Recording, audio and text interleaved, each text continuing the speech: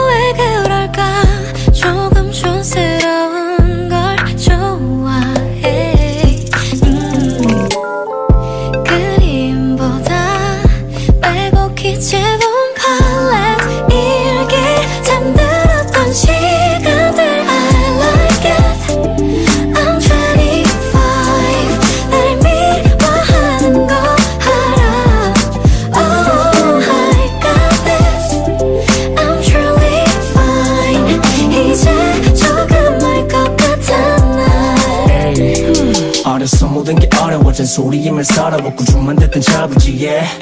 겨우 숨은 고개 넘어 기쁨도 잠시 어머 아프니까 만장춘이를. 지은 아홉 반은 말야 지금 막 서른인데. 나는 절대로 안해 근데 막 어른이 돼. 아직도 한참 모르는데. 너보다 다섯 살밖에 안 먹었는데. 스무 위살은 아래 고맘때 right 때 해도 어른도 안해 night. 때 그저 night. 때 가장 찬란하게 빛이 나. 어둠이 드리워질 때도 겁내지 마. 너무 아름다웠어 꿈이 활짝 웃어 언제나 사랑받는 날. Yo. 일기 잠들었던 시간들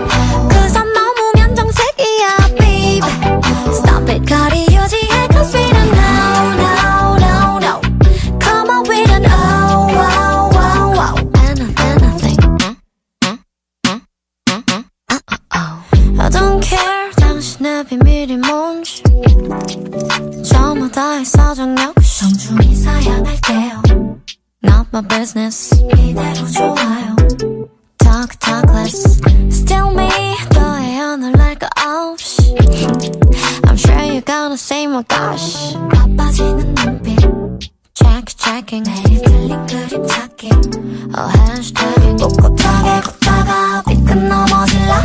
다들 수